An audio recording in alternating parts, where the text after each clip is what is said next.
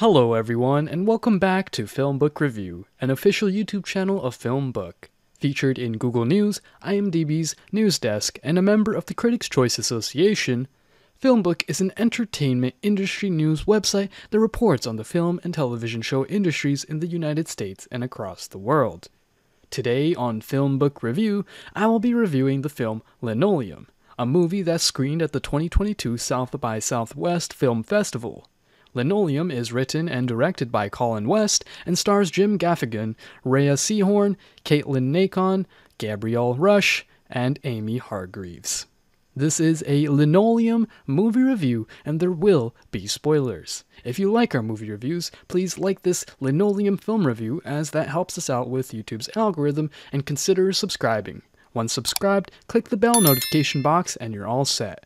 Please also consider becoming one of our patrons on Patreon at patreon.com forward slash filmbook.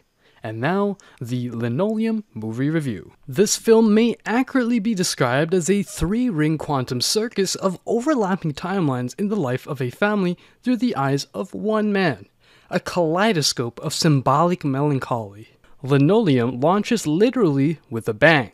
A blazing red Corvette falls upside down from the sky onto a suburban street where a middle aged man, Cameron, stands at his mailbox. Cameron doesn't hurry to the flattened vehicle. Instead, he trudges over timidly, curious rather than shocked or alarmed. The mustachioed driver lay half out of the wreckage with no sign of injury. A perfunctory exchange, and Cameron continues trudging into his ticky tacky suburban home. This the first of several outright bizarre incidents that the life of Cameron the family man clues that his life is not exactly on a steady track. From that point, however, events unfold, or so it seems, in ways unexpected for a dysfunctional family in the final throes of disintegration with some notable oddities. His wife and rocket engineer, Erin, seeks a divorce, even though they still sleep together. Their daughter, Nora, a high school student, is deciding whether or not she's a lesbian. No one takes much notice of the youngest, Sam, about 10 years old, who takes almost no notice of them.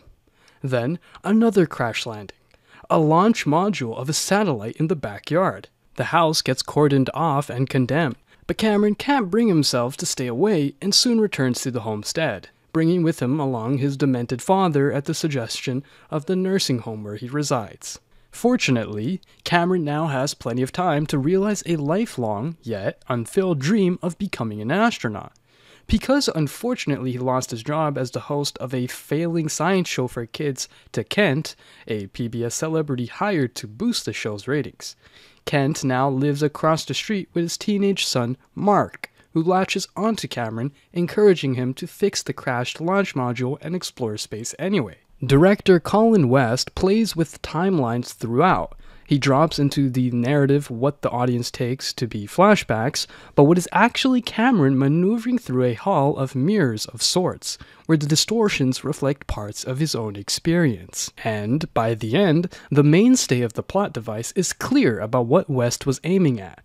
The last moments of Cameron's life as he looks back, with his regrets and exaltations. What started as painfully melancholic becomes exquisitely nostalgic.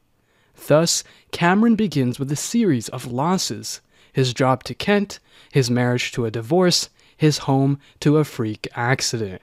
He sees himself as 10 year old Sam, the son of the impossibly demanding, abusive Kent, who later tries to run down his son Mark for disobeying, but dying himself, crashing his Corvette.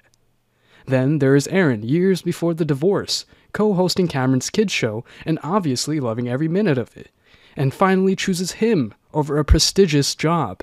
Together they fix the rocket, together they blast off, Cameron as the demented father, with co host, co pilot Erin at his side.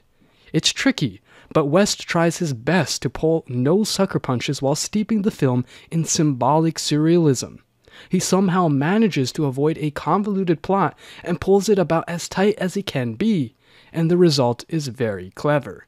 It can't exactly be called dream logic, however, grounded as it is in the alternate, more substantial narratives, bolstered by first rate performances all around, that gives it real world strength and substance.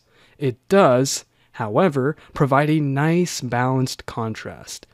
Occasionally, there are a few peculiar logistical issues that may provoke further discussion, i.e., leaving to experts the notion of an Electra complex when Mark marries Nora. At the end of the day, linoleum finds its real strength in emotional terms, and one finds it remarkably satisfying. And that brings us to the conclusion of this Linoleum movie review. I'd love to hear your thoughts on it below in the comments section. If you liked what you heard during this review, please like this video and subscribe to this channel. Please also visit and subscribe to our podcast channel at Film Book Podcast and our trailer and reaction channel at Film Book Trailers. Thank you for viewing, and you can watch one of these reviews next.